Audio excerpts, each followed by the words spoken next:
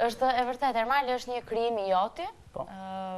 një serial e ke quajtur, e ke titulluar Lokomotiva, ka në qendër të rinjtë kryesisht, edhe aktorët janë të rinj, nuk është se kanë studiuar për aktrim, dhe thua 100% Shqip, një serial 100% Shqip, çfarë do të thotë, deri tani s'kim pasur të tillë, më trego pak si lindi si ide, më bëj një përmledhje pra të gjithë projektit. E qartë, e kuptova shumë mirë pyetjen, atëherë, Ne u përpoqëm që të sjellim diçka ndryshe, duke qenë se një grup të rinjsh të bashkuar dhe kishim qëllimin e mirë për të krijuar një gjë që të jetë e veçantë, siç ishte edhe ideja e serialit Lokomotiva. Fakti që është titulluar seriali Lokomotiva ose është përcaktuar qoftë edhe nga mediat online që e kanë sjellë si të tillë, qind për qind shqip nuk do të thotë që nuk ka patur më parë një serial shqiptar të tillë, por është menduar në këtë lloj forme për faktin e vetëm se ne jemi bazuar në ngjarje reale, siç është martesa me shkesë apo duke sjellë në qendër të vëmendjes të gjithë vlerat tradicionale shqiptare, qoftë në pika turistike, qoftë në gatime, qoftë në disa dimensione të ndryshme që do të jenë mirë të zbulohen në momentin që del seriali.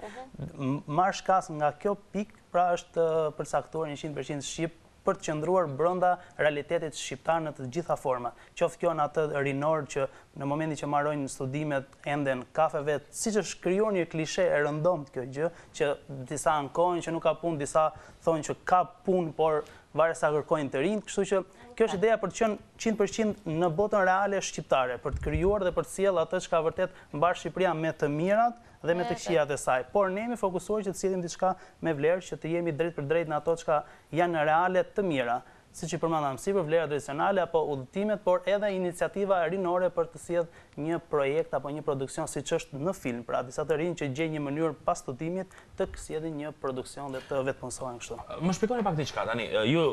kur themi serial, serial është krijim artistik, Pa diskutim fiction le ta quajmë. Ju luani veten tuaj apo luani personazhe të cilat janë të induktuar nga nga screenplay, nga skenari se s'më vinte fjala. Alban të jemi të sinqertë në Shqipëri ne nuk bëjmë dot film kinematografik me të gjitha standardet kam përshtypjen që ju jeni në këtë fushë dhe e dini më mirë se unë që për shkak të mundësive që ndodhen në Shqipëri ë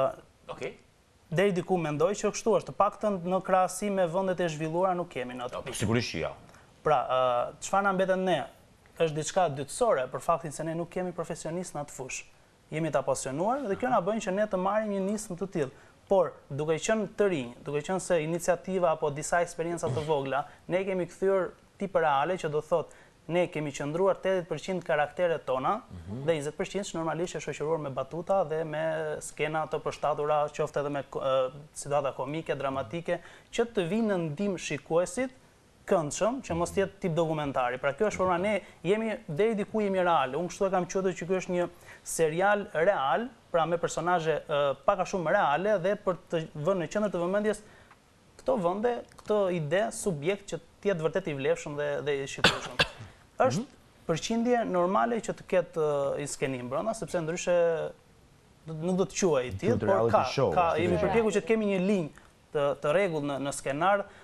dhe në regji, por thashë, duke u bazuar në pjesë reale sepse nëse nuk i ka Shqipëria mundësi që të bëjë një një produksion të mirë, pra një realizim të mirë, ne jemi dytësorë dhe ne po e bëjmë këtë iniciativë private, që duhet theksuar dhe unë dua ta theksoj tashmë që është nisur me zero buxhet.